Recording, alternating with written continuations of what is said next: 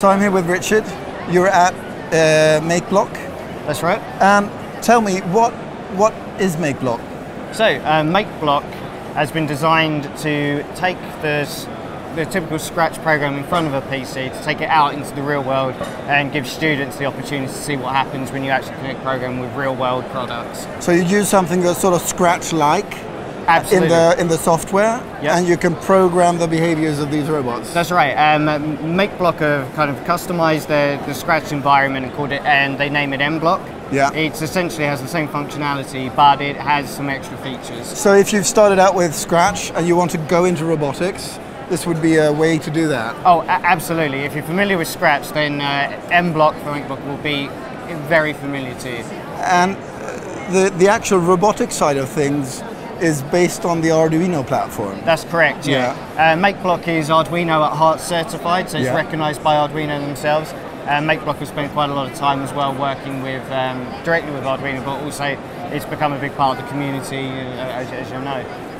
So it's open hardware in the bottom, and right. then there's uh, the kits that you provide Sure. that you assemble yourself and you Yeah. code them yourself. Yeah, that's correct. Uh, it's designed to be put together by students, so you're looking around 15 to 20 minutes for a build. It's the tools for the build are included in the box, so it's very easy to do. Um, students generally find that very rewarding, and then obviously it's just one extra factor that take that reinforces the kind Yeah. of real world applicability of the coding. So, so one of these would take about 15 to 20 minutes. Yeah, uh, what, this uh, this one specifically, this is Yeah. a slightly larger version, Yeah. so you're looking a little bit longer, and uh, you know maybe a slightly older student, whereas Yeah. we'd recommend eight years and up for that one. Yeah. Maybe more like 12 years and up for this one.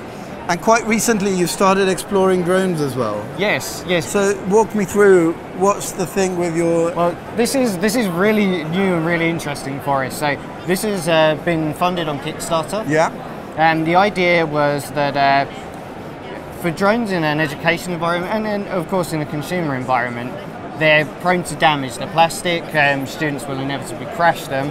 Whereas this is very robust and rigid, um, but it won't do cause any damage to walls or flying internally. But the i- to make it different, it's actually a modular design. So I can change what I'm doing here. Make it different. But if I have a crash, I go to pieces. Yeah. It stops the stops the propellers spinning. It makes it safer, more secure.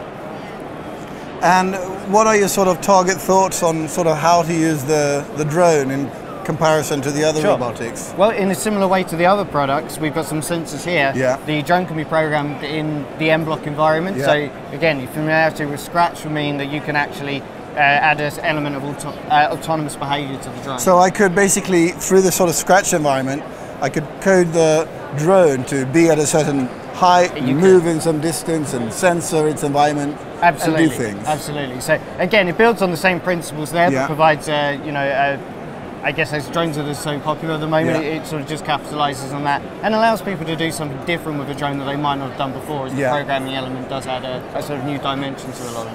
And since it's Arduino based, I guess that if you want to explore further from the sort of Scratch context, that would also be Yeah. Possible to do. Uh, definitely. Um, one of my favourite features about uh, MakeBlock is that uh, where you have the Scratch block coding on the screen, Yeah. next to it you can have the Arduino code generated as well. So, So I would actually see the text-based code That's correct. in relationship to the locks. that's it. And uh, for the curriculum, we know how important it is to start people with graphical, but ultimately transition them to be able to code with text. So Exactly. this allows them to recognise syntax, but without the without the finicky details of it. So if Yeah. you're missing a semicolon, it won't work.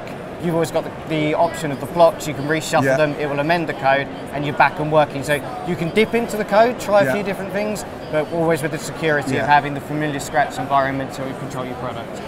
Thank you, Richard, for walking us through the setup and the stuff you do. No problem, my pleasure. When, uh, when will it be possible to get a hand on the drone? Well, it, the pre-order it was incredibly popular, over Yeah. eight hundred thousand dollars on Kickstarter. So it's put a little bit of pressure on the production, but MakeBlock's a very established company and they're working through it very fast. So we think end of March, April for for general resale.